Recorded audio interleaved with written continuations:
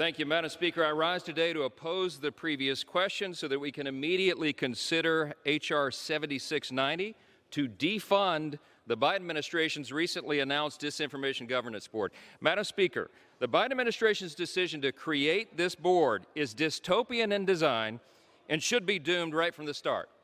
Madam Speaker, the House is not in order.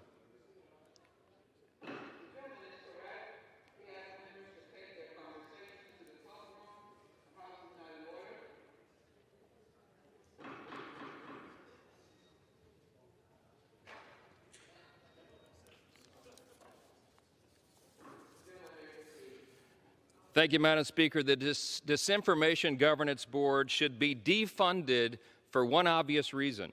It is not only Orwellian, as everyone has said, but it is clearly unconstitutional. See, in America, we don't allow bureaucrats and government officials to choose what speech is deemed acceptable or censor and silence viewpoints they dislike.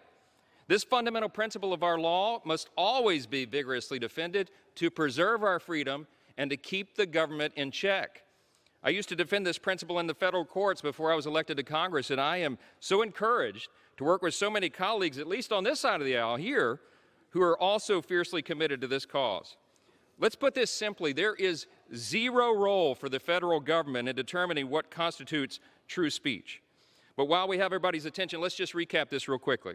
This Disinformation Governance Board will be housed within the Department of Homeland Security. It was just announced uh, by ambush very abruptly by Secretary uh, Mayorkas.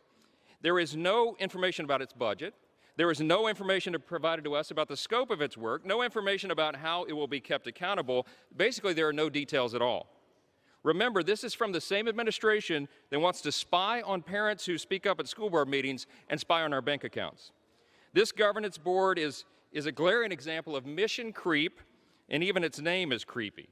Here's what we do know the board is supposed to be headed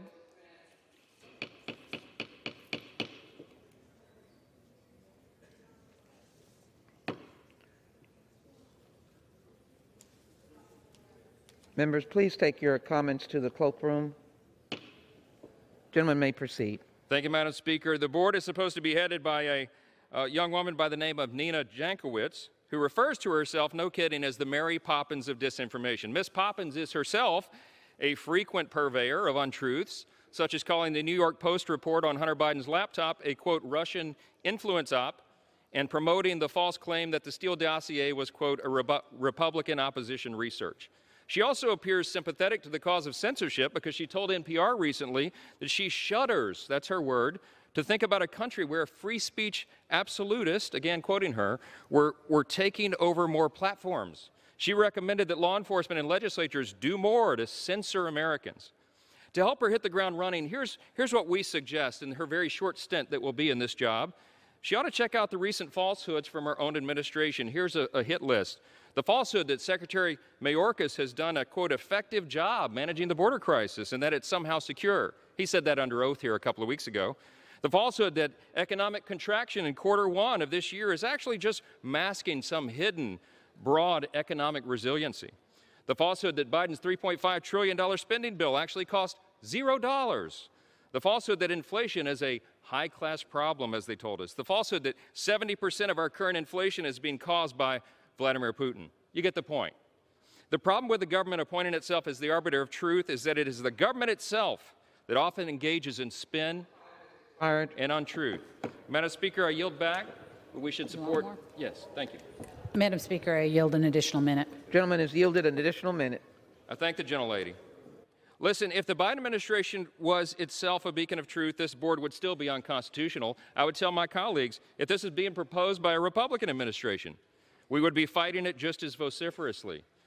I do find it noteworthy, however, that those who seem the most preoccupied with censoring Americans and policing disinformation are so often themselves the worst offenders at spreading it. Again, here's the bottom line the government has no role whatsoever in determining what constitutes truth, truth, or acceptable speech. President Biden should dissolve this board immediately and entirely, and if he won't, Republicans will.